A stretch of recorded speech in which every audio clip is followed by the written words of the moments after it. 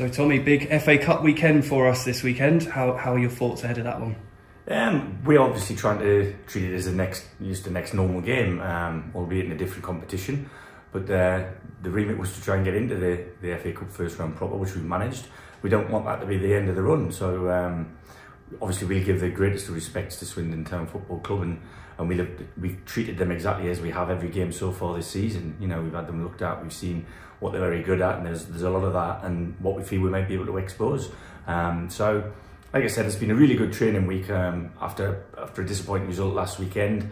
Um, but that was at the end of a, a very decent run in, in, general. So the mood of the camp hasn't changed particularly, I don't think. Um, and we look like a little bit healthier in terms of our numbers than we had available last weekend too. Obviously, in the last round against Lewes, it was us tiptoeing over a potential banana skin, but we've got the opportunity to be, you know, the banana skin for Swindon this weekend, haven't we? We're going into it, I guess, as the underdog. Does that help us? Well, it's you hit the nail on the head. I'll just I'll just use that analogy with the lads in the team meeting. You know, we, the, the coin's been flipped. Really, we had nothing to win other than a passage through to the next round when we when we had Lewes at home. Swindon will have the same, you know, pressure if you like, whatever word you want to use it. But it's up to us to use that to our advantage. I'm aware that there are a lot, a lot of Shots fans travelling down the M4 to, to support us. But I, I believe if the lads give their everything, that they'll be they'll be applauded off the pitch. Well, either way. So from that point of view, the lads haven't got a great deal to lose, but we're not going there to make the numbers up. We're, we're going there to give them a proper game. Um, I genuinely believe both teams have got very similar DNA in the way that both squads are made made up. The, the age, the career paths of the young lads, and both sets of players are probably owning first team shares for the first time at first team level in, in their careers. So I'm expecting a really good game. I think it'll be a good football match. Um, and we're looking forward to it. Simple as that you look at League Two and, and, the top teams in that division are now Stockport County, Wrexham, Notts County. That you know, two seasons ago were all playing in the National League. Is is it is it a bit of a smaller gap in quality? Do you think these these days? Well, I think there's there's a lot more teams playing in the National League these days that, if promoted or when promoted, won't be looking back and, and dropping back into the National League. Where if you look through League Two, um, there are there are many teams that are hanging in there and they're, they're surviving rather than thriving. Um, Swindon are at the, at the better end of the table, I believe, in terms of their infrastructure and their plan. Um, but but ultimately, there isn't a massive gap. I think you know the, the, the discussion at least needs to be had now about the three up, three down. For the fact that you just said the top three teams at this moment in time are all sitting in the National League within 18 months of, what, of, of this conversation.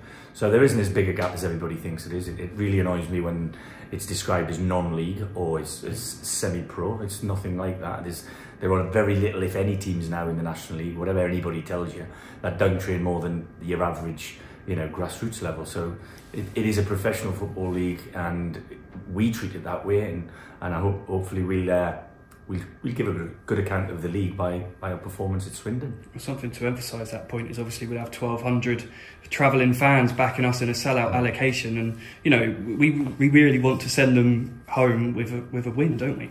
Yeah, I mean, listen, them sort of numbers are excellent, you know, to take it 1,200 plus I've, I've, I've yeah. read. Um, and they'll be going down there and they'll want to win. You know, they've, they've got used to us winning games this season, which is really good habit to get into as a not just as a side and a manager and a coach and stuff, but as a, as a club. We're all we're, we're in it together. We want them behind us every step of the way. So we'll be giving our all, and I'm sure that they'll. Uh, they'll make themselves heard even if they are if they are outnumbered. It won't be as as much as probably most games I've been doing in, in, in the FA Cup situation. Certainly, we'll, we'll definitely be holding our own in the crowd stakes.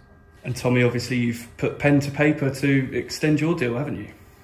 Yeah, it's been really positive since I come here, and I think the club and I see the same thing. Um, and hopefully, it's good news for the fans because they they've got on board with what the project is that we're trying to do here. We've definitely changed the style of football. I think the approach to the games is very different as a group. You know, we go in there thinking about ourselves first and the opposition second, but we do obviously give them a lot of respect.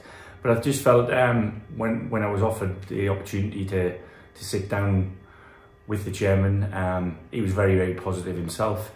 He reminded me of what was happening before I came to the club, and numbers in all areas are going up, which is really good.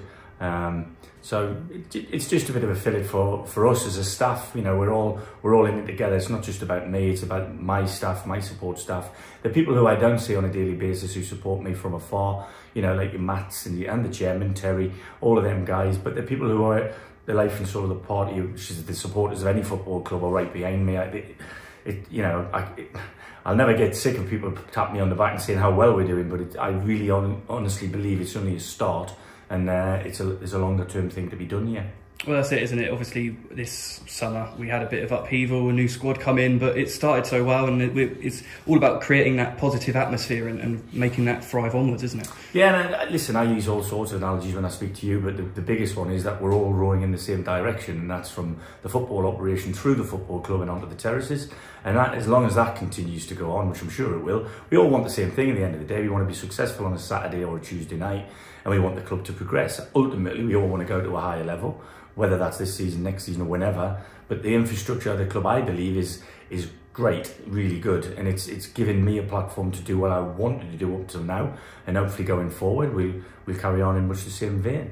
And that feel good factor that has been seen on the terraces at the EBB Stadium is that obviously spreading throughout the team and throughout the staff? Well, I think so. I mean, players obviously love adulation; they don't like kicks up the backside, and so far the fans have no need to, to, to be other, anything other than supported for the home game, certainly. But even when we've gone away from home and haven't performed quite as well, the support and the people, the numbers we carry, the distances we travel, you know, it's, it's commendable. And it just tells me that this club has been waiting for quite a period now to have a, a decent run, uh, you know, in the league first and foremost. But the cup run this weekend's, you know, also a, a nice addition for us. But it's it's just as far as we're concerned, an extension to our normal week.